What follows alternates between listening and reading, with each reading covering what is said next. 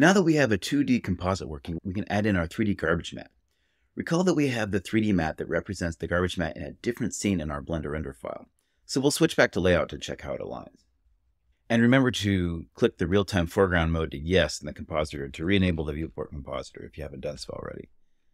Go in here. Okay, so that's real-time. Great. If you suddenly start seeing purple frames, you can shift F3 in the bottom panel to bring up the, uh, the shader editor and click on the camera image plane, and then that should bring things back to normal. So let's bring our garbage matte back into the original scene to do some more editing on it. We're going to go to our garbage matte, and here's our matte. Hit Control C, and then switch back to our main scene. Control V, paste it. There we go.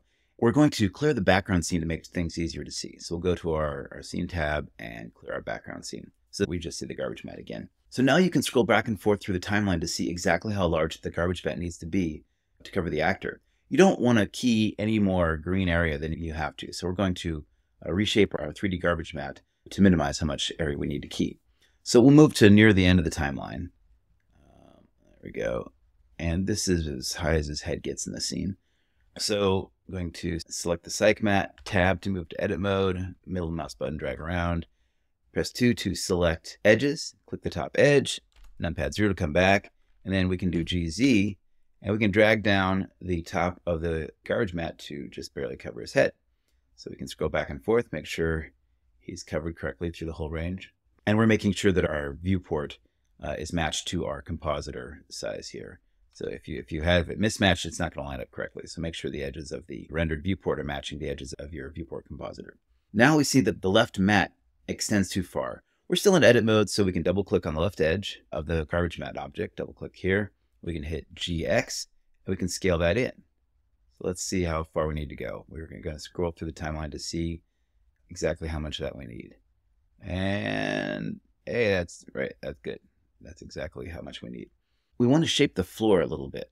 We're still in edit mode. Click on an edge, hit Control R to add a loop. Click in here, and then we can move up and down to drag where the loop is.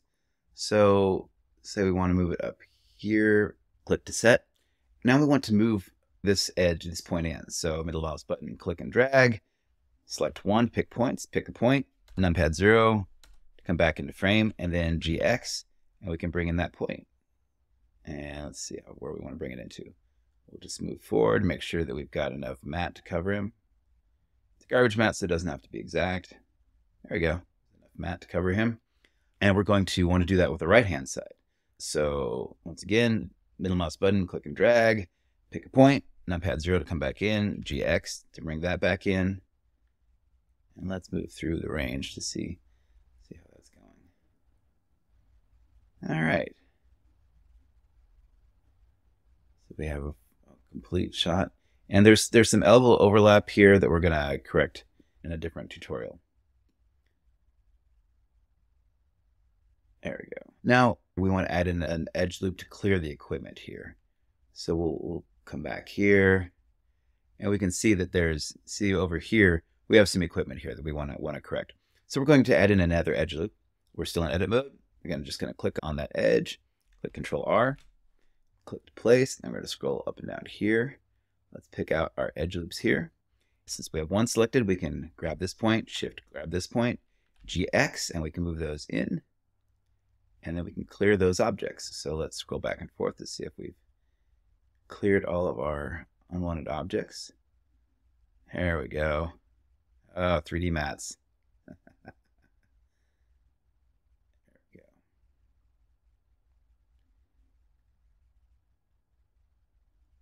Right. And we can clear this one too. Uh, press 2, pick edge, control R, uh, add a loop, move this down, click 1, grab the point, GX, move it in. Now we can clear our, that little tripod. Let's make sure we didn't mess up where his elbow has to be. Oh, very close, very close. Okay, looks pretty good. And sometimes you'll actually have an elbow overlap that we can correct later with an AI matte, uh, but this is okay for now. 3D garbage mattes are really nice to deal with tracking shots. Okay, once we're done, we're going to hit tab to exit edit mode. And if you run into purple frames anywhere in here, just remember to hit shift F3 to cycle back into your shader editor, click on the camera plane and move back and forth and that should correct that. It's just a quirk. We're out of edit mode. Click on the matte object, control C to copy, switch to our garbage matte scene, control V to paste. So now you see we've got two cyc objects in here, uh, the original and the modified one. So we're going to right click, make a new collection, call that stage mat, and we're going to put the original one into that. Hit M, StageMatte, and we're going to disable that so that we only see our new modified one. So you can see that it's the modified one if we move forward in time to the same spot. We want to save that original unedited object in case we have other shots done with the same coordinate system on the same stage. We can append that object or that collection to our new shot and save ourselves a lot of work because then our nice 3D garbage matte will just show up and track perfectly. So let's go back to our original scene and we'll delete the cyc matte 02 object. Don't need that anymore. And we can swap in our garbage matte scene into the background to check to make sure everything came through correctly. So we'll go to the background scene, click garbage matte, and there's our matte, our garbage matte tracking correctly. Great. Okay, so let's change back to our, our normal background scene. We're going to go up to our compositing tab, and we're going to go down and click Autoshot and uh, ungroup that in case we haven't already done that before. Grab our render layers, move it over, over into a clear area. And we're going to need to add another set of render layers to the scene in order to see the garbage mapped layer.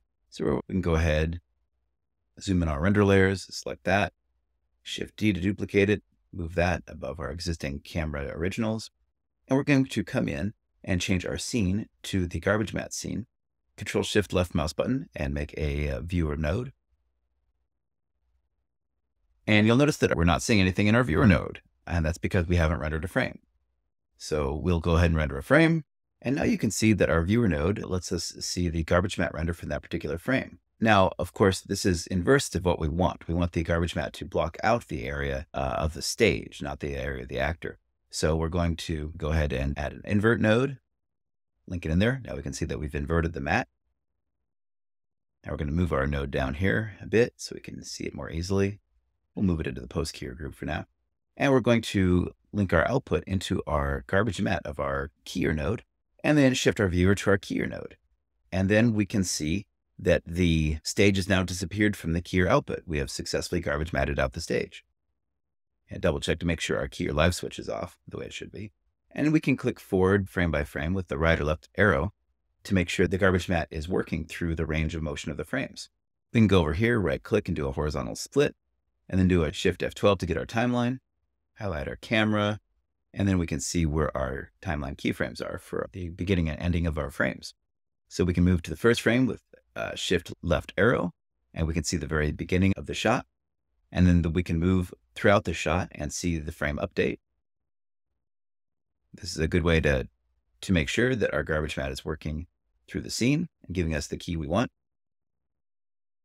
Also double check and make sure that our keying color is set correctly. There we go. That gives us some better keyer results. And we can move through the timeline and check throughout the range of, of, frames to see that it's working well. And there are a few extra objects in here that we can clear out on another tutorial. So we can go ahead and render a, a single frame out to make sure the whole composite is working. We'll go into more details in compositing, but we're going to wrap this up and we'll package it up to get ready to send to uh, an external render farm.